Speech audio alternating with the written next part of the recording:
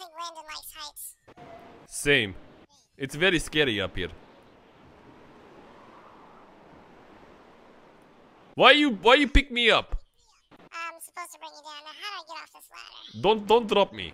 If you drop me, we both die. Yeah, yeah, I know. Where's the other ladder? It's right there behind you. Right there, yes.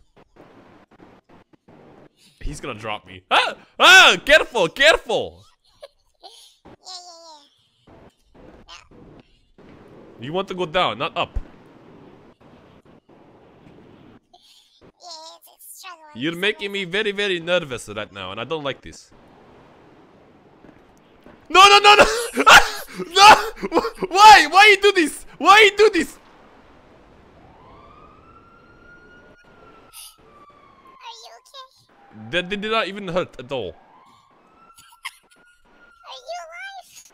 Yes, I did not die. Why can't I get up? I'm very much dead and you're stuck. I think you're stuck. Well, this is this is very, very uh interesting. How do I get up?